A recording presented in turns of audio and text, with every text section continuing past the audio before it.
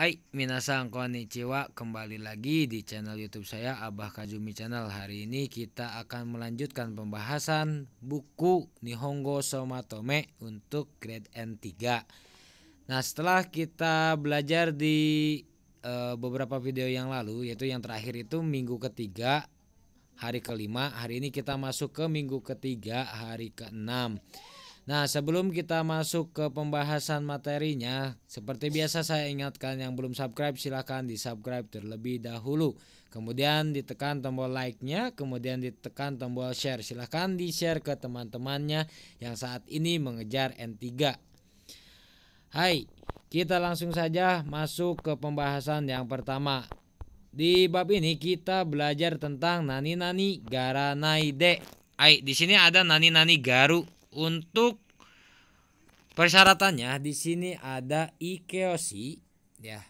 Ikeoshi nakeoshi kemudian ada dosi bentuk keinginan atau tai. Nah dilanjut dengan garu gate garanaide. Hai contohnya di sini ada itagaru koagaru hoshigaru sabishigaru zangnengaru Tokui Garu, Mitai Garu, Tabeta Garu. Nah, ini adalah uh, ini ya, minasang uh, mengandung arti apa tadi? merasa gitu. Namun ini tidak bisa digunakan untuk diri pribadi. Nah, di sini ada keterangannya, watashi wa kairita garu ya atau watashi wa kairita teiru itu nggak bisa ya minasang. Karena ini e, perasaan orang lain.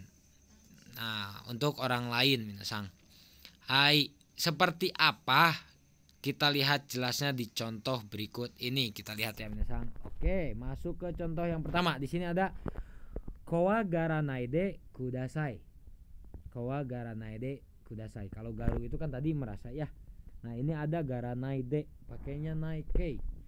Berarti ini tidak usah atau jangan jangan merasa takut gitu. Kowa garanaide kudasai. Tolong jangan merasa takut. Kemudian e, contoh yang kedua hazukasi garanaide maini dete kita kudasai. Jangan merasa malu, tolong keluar ke depan ya, tolong ke depan gitu. Hai. Nah, ini kan e, perintah untuk orang lain ya. Minasang ya, jangan merasa gitu, jangan merasa takut, jangan merasa malu. Nah, berarti ini tidak diperkenankan atau digunakan untuk diri sendiri. Hai. Contoh yang lain di sini ada Tanaka sangga anatani aitagatte imasta yo. Tanaka sangga anatani aitagatte imasta yo. Dia pengen ketemu loh sama kamu gitu. Nah, ini kan eh, apa namanya? Itu ya perasaan orang lain ya ke orang lain lagi gitu.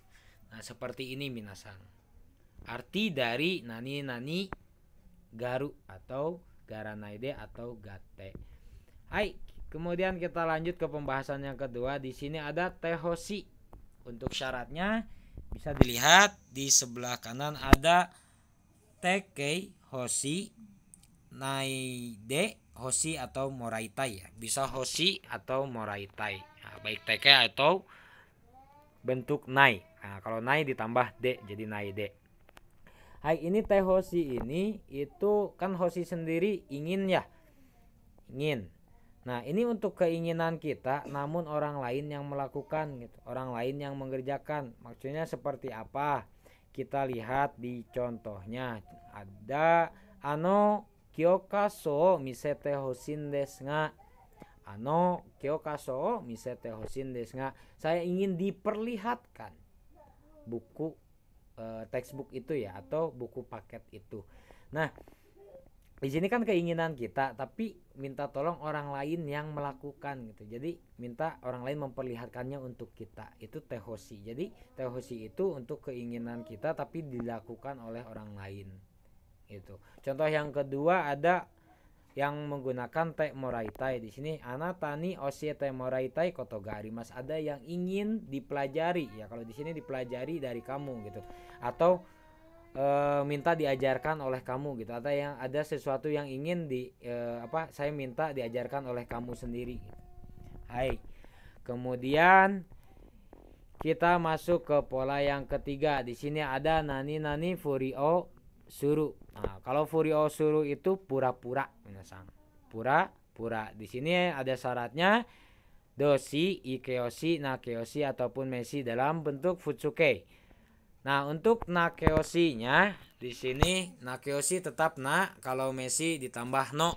Jadi eh, tadi ada dosi, ikeoshi, nakeoshi sama dos, eh, mesi ya. Nah, untuk nakeoshi-nya na-nya tetap menjadi na furio suru, kalau mesinya no furio suru. Hai. Kita lihat contohnya ada karewa sono koto ni suite steiru furi o steiru ga honto wa shiranai to mau. Saya rasa dia itu tidak tahu atau pura-pura tahu ya, pura-pura tahu tentang itu ya, tentang itu padahal dia tidak tahu gitu. Karewa sono koto ni suite. Dia tentang itu ya, tentang itu. Steiru furio steiru ga pura-pura tahu ya. Tapi honto wa siranai mau ya, saya rasa dia itu sebetulnya tidak tahu gitu. Jadi intinya uh, dia itu pura-pura nggak tahu padahal eh pura-pura nggak tahu pura-pura tahu padahal dia nggak tak nggak tahu hai Kemudian contoh yang kedua ada Tanaka Sangwa Dokusing no Furio Shiteiru ga Kekong steite sangning mo kodomo ga iru. Tanaka sangwa dokusing no furio steiru ga kekong steite sangning mo kodomo ga iru. Dia itu pura-pura bujangan atau pura-pura lajang. Tapi padahal dia itu sudah menikah dan punya anak tiga. Hai, seperti itu minasang untuk pembelajaran hari ini. Semoga bermanfaat. Wassalamualaikum warahmatullahi wabarakatuh.